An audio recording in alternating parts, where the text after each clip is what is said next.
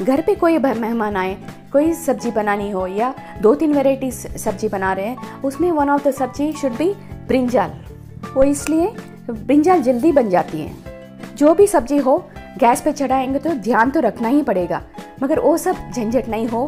हम लोग आज कुकर में बैंगन की सब्ज़ी, वो भी एक ही सीटी में बनाएँगे। ये सब्ज़ी आप कैरियर में भी ले जा सकते हैं, ज़्यादा मसाले की ज़रूरत नहीं है येट ग्रेवी टाइप की सब्ज़ी है। इससे ज़्यादा और क्या चाहिए हमें? हाय एवरीबॉडी मैं हूँ Geeta.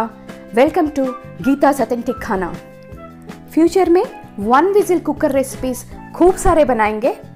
अभी के लिए देर न करते हुए फटाफट शुरू करेंगे बैंगन की सब्ज़ी। 250 ग्राम्स बैंगन लेके अच्छे से धो के उसके साथ दो बड़े ऑनियंस ऐड करके धो के रखे हैं अलग से। जो बैचलर्स हैं और नए नए खाना बना रहे हैं। उनके लिए एक टिप है, बैंगन हमेशा काटने के बाद नमक पानी में डालना चाहिए।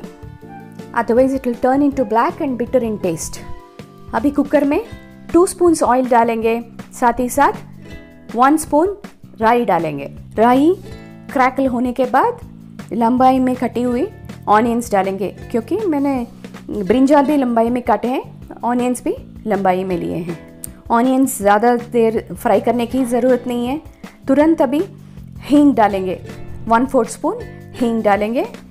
अभी इसमें टेन टू ट्वेल्व कड़ी पत्ता एंड थोड़ा सा शुगर एंड पेपर पाउडर डाले हैं फॉर द टेस्ट जिंजर भी डाल सकते हैं। अभी वन फोर्थ स्पून हल्दी मिलाएँगे। हल्दी डालने के बाद अच्छे से मिला लीजिए सारे इंग्रेडिएंट्स अभी नमक पानी में पहले से काट के रखा हुआ ब्रिंजल पीसेस इसमें डालेंगे। अभी देखने में तो पूरा कुकर फुल हो गई है। ये पकने के बाद बहुत कम हो जाती है। अभी हम इमली पानी ऐड करेंगे। इमली पानी भी थोड़ा ही लेंगे। बैंगन में पहले से पानी होते हैं। नमक स्वाद अनुसार डालेंगे। कुकर क्लोज करके पकने देंगे एक विजिल आने तक। अभी विद इन नो टाइम एक विजिल आ गई है। हमारी सब्ज़ी तैयार है। अभी ये गरम सब्ज़ी में तीखापन के लिए हाफ़ स्पून चिल्ली पाउडर डालेंगे या तड़का डालते समय एक रेड चिल्ली ऐड कर सकते हैं। अभी हमारी बैंगन ग्रेवी सब्ज़ी रेडी टू सर्व है ना आसान तरीका। अगर आपको पसंद आई तो ज़रूर ट्राई कीजिए।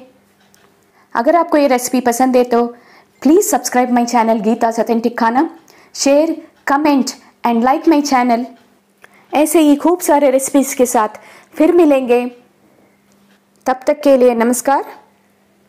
Thanks for watching stay healthy stay happy